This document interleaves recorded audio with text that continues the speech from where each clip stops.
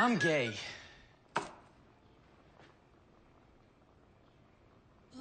Oh, um, yeah. So, look, I know uh, you guys don't all know me that well. And what you do know is that my dad's the chief, and I just got engaged to a woman. But this station runs on trust. And I don't want to be the person hiding her epilepsy, or the woman who, who got stuck in the window with her poop. So, I'm gay. And I, I want to say that I'm a proud gay man, but I don't think I'm there yet.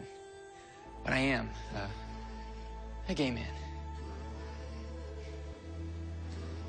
That's cool, but you should probably tell what's her face before you marry her. That, that's what I was thinking. Probably. Really, I mean, What is she- There isn't a club, but if there was, welcome.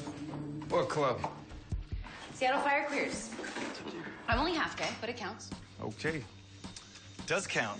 Julie? Proud of you. Yeah, I am too. I'm proud of